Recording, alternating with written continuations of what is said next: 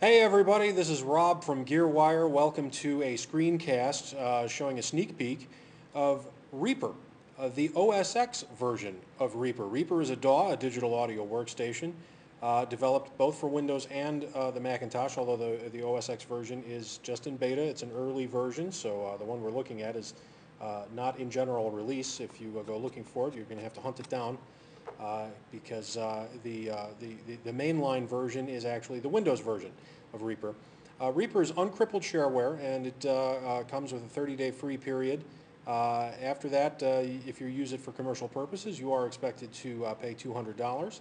Um, if you're using it for non-commercial, there is a less uh, expensive license, but uh, even at $200, Reaper is absolutely worth it in the Windows version.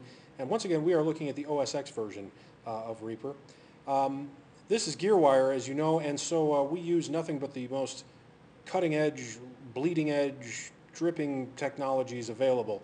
And uh, I actually uh, chose Reaper as the DAW to use uh, to put together some uh, live GearWire projects, and uh, one of which is open right in front of you right now. This happens to be the third part of a multi-part phone interview series with the legendary Les Paul. And uh, let's just hit play and see, uh, see what we've got loaded up here. Paul.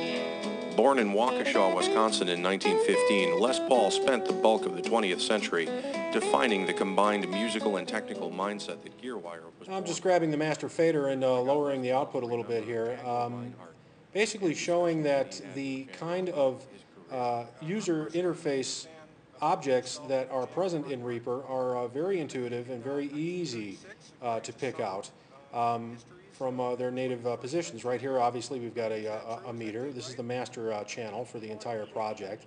Um, the master fader is right here. Now, did you first hear his records, or did you see him play first? Now here's the pan control, as you could guess.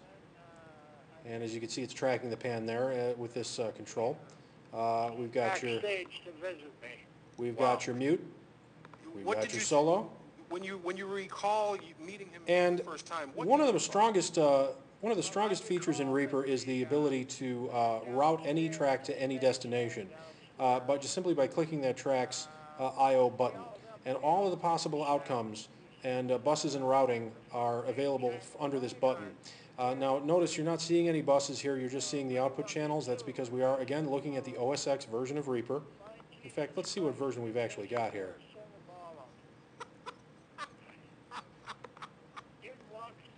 Yeah, this is a 0.1x preview version. We're pretty early on in the development history of the OS X version.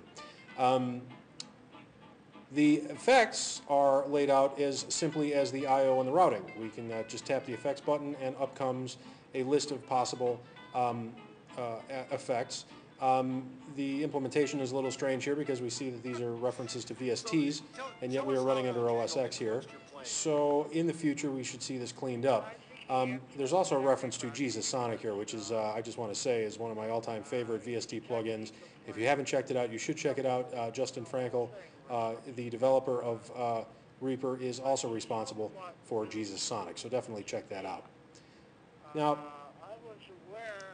you can see that there are uh, various controls available here, uh, not the least of which being adding new tracks or removing tracks, cut, save, all the things that you would expect. One of the things as we look around, uh, one of the things you should notice as you look around Reaper's interface is you will see that um, unlike many other DAWs that are out there in the uh, world, there are uh, there is a method to the madness. Uh, objects and options and menu options uh, coexist close to each other in a way that sees the world very similarly to the way that well I see the world. Uh, for example, um, you don't have to uh, pilot your way through six or seven different uh, clicks in order to simply um, perform a basic function in Reaper, and that is something that I really do treasure about it.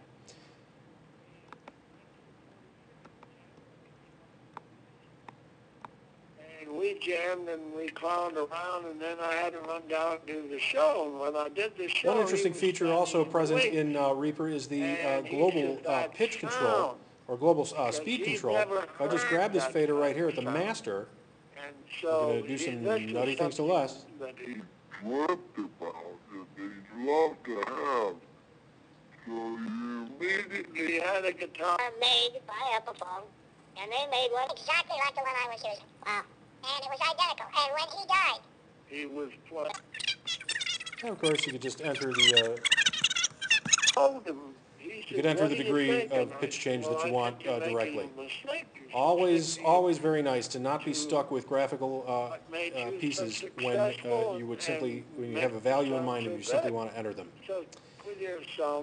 Well, we're going to turn this down and we're going to uh, finish up this just introductory video. Please keep your eyes on GearWire in the near future for more screencast videos and specifically screencast videos showcasing uh, the Reaper DAW. We're going to be uh, putting Reaper up against other uh, digital audio workstations in the future uh, with uh, GearWire screencasts.